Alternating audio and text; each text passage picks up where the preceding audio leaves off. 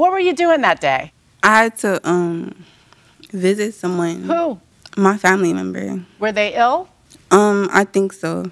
You were coming out of the Slauson Super Mall. Don't try to play me. I know the area. So, was your sick family member sick in Slauson Super Mall? No, I met someone there. You need to understand what you did here. This young woman is out of pocket, out of time, because you got behind the wheel of a car to go to the mall and go see somebody.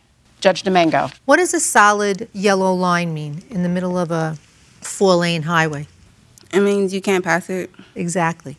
So you were making a left turn, is that correct? Yes, that's correct. But I do remember that day.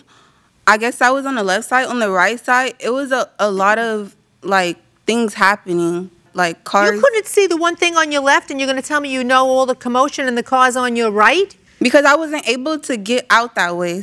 You have to wait for the flow of traffic to stop, just the way that car who slowed up on your left probably thought you were going to make a right turn and was letting you into the traffic lane. I'm going to bet you any money you didn't even have a signal on. He probably waved you in for a right turn, not thinking that anybody in their right mind would go over another lane and then two other lanes to make a left turn. You see, the problem you have is you don't have a basic foundation and understanding of how to drive a car and the proper rules of the road. And Can I show you what I mean on the map? Yeah, I know Oh. what you mean. You didn't see her coming. You didn't see her because I you were the one her. coming out of the driveway. And if you saw her, then why would you keep going? And by the time you got into that intersection, she was coming through already. It's you, you, you.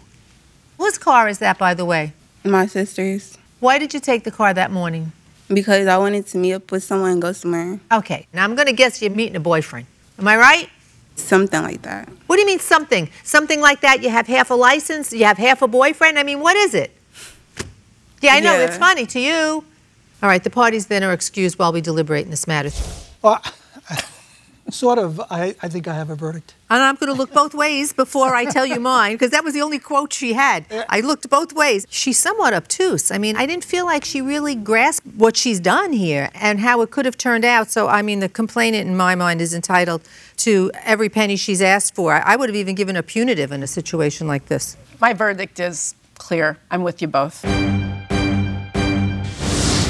This courtroom is again in session.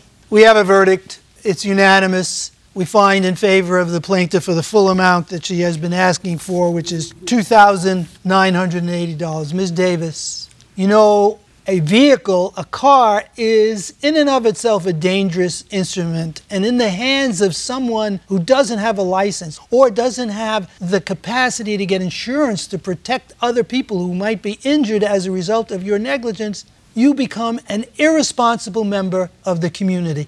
Had a life been taken as a result of this accident, you may very well have found yourself in jail for life. Do you realize how reckless this behavior was? Yes. Verdict is in favor of the plaintiff, $2,980.